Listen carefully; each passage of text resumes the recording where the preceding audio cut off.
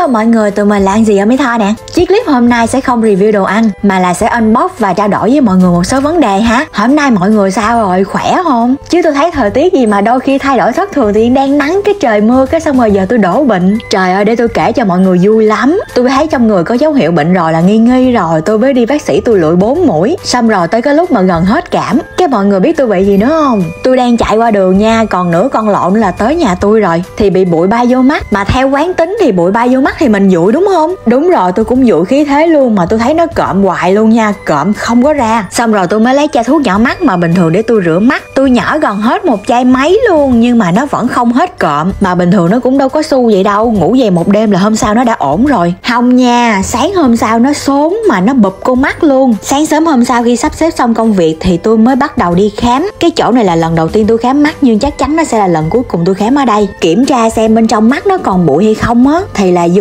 được dạch con mắt lên. Mắt không còn bụi, xong rồi đi qua tính tiền 80 ngàn cầm một chai thuốc đem về. Về tôi cũng ung dung, tôi nhỏ, xong rồi nhỏ không có hết mà mắt nó đóng ghèn vàng luôn theo tôi quan sát đó giờ trên con người tôi á, là tôi thấy mỗi khi mà mắt mà đổ ghẹn vàng là nó cũng muốn viêm rồi đó. Mà viêm từ con mắt này rất là dễ lây sang con mắt khác. Cho nên là mẹ tôi lật đật kêu tôi đi xuống dưới cầu quay bóc số liền. Trời ơi, tôi xuống là bóc số 56 nha. Bóc số tưởng ung dung là vô được khám rồi mọi người, nhưng mà không. Quay trở lại ngồi đợi hơn 2 tiếng mới được khám. Chỗ này tôi cũng khám nhiều rồi, nhưng mà đây là lần đầu tiên mà bác sĩ nói với tôi, trời ơi, sao con mắt con viêm nặng dữ vậy? Nam mô a di đà phật luôn á, trời, nó lây qua con kia luôn xong rồi lần đầu tiên trong đời của tôi được nhỏ một loại thuốc mà nó rát con mắt nha mọi người. Xong rồi bác sĩ mới lau, nó sạch, cảm giác là nó nhẹ con mắt liền. Xong rồi cho hai chai thuốc nhỏ và ba dĩ thuốc. Khi mà nhỏ cái dung dịch nó hơi rát rát nó vô rồi, con mắt tôi cảm giác như là nó đơ đơ, nhưng mà nó không có còn đổ ghèn nhiều nữa. Rồi tôi mới bắt đầu nhỏ hai chai cách nhau 15 phút, nhưng mà nó êm nha mấy bà. Êm thiệt luôn á. Sáng hôm sau không còn ghèn vàng nữa mà gòn ghèn trắng bình thường như bình thường thôi, nhưng mà nó rất là ít luôn. Kiểu clip này để tâm sự kể chuyện cho mọi người nghe lâu lâu một bữa. Mặc dù chỗ này đông, đợi hơi lâu, nhưng mà có hiệu quả là phải đợi thôi, phải đợi. Nói chứ, ráng giữ gìn sức khỏe nha mấy bà, để còn coi clip của tôi nữa. Cảm ơn mọi người đã coi đến đây nha. Bye bye. À quên nữa, mãi yêu.